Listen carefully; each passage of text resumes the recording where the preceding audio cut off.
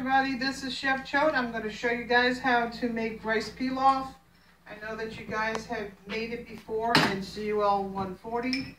Today's just going to be a review. I'm only going to be making a small amount of the uh, rice pilaf. I'm going to get started with my clarified butter and my olive oil.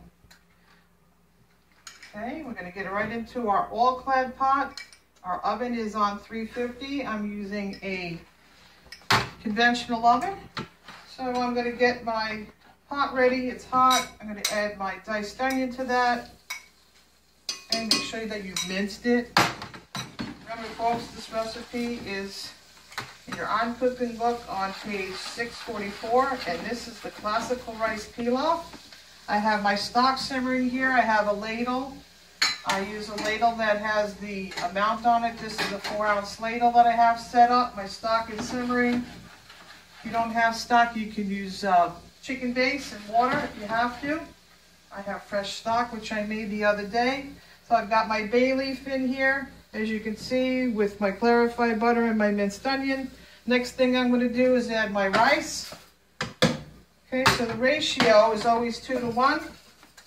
So you don't want to get any color, but you want to coat the fat on the right uh, on the rice, okay, like I'm doing right here. And after I do that, I'm going to take my stock, which is simmering, and I'm going to bring it right over to my pot. And I'm going to add one and two.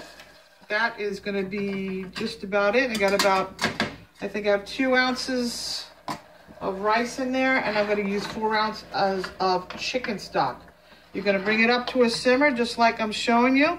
Okay, I'm going to show you real quick going to shut the, the rice off. It's important you don't lose the liquid, right, from evaporation, right, making sure you have a lid and have your oven on and making sure that your oven has a rack set up so you can put your pot in with the lid on and we will cook this, folks, for about 18 minutes. And I will use my timer because I'm at home and away we go. All right, guys, thank you.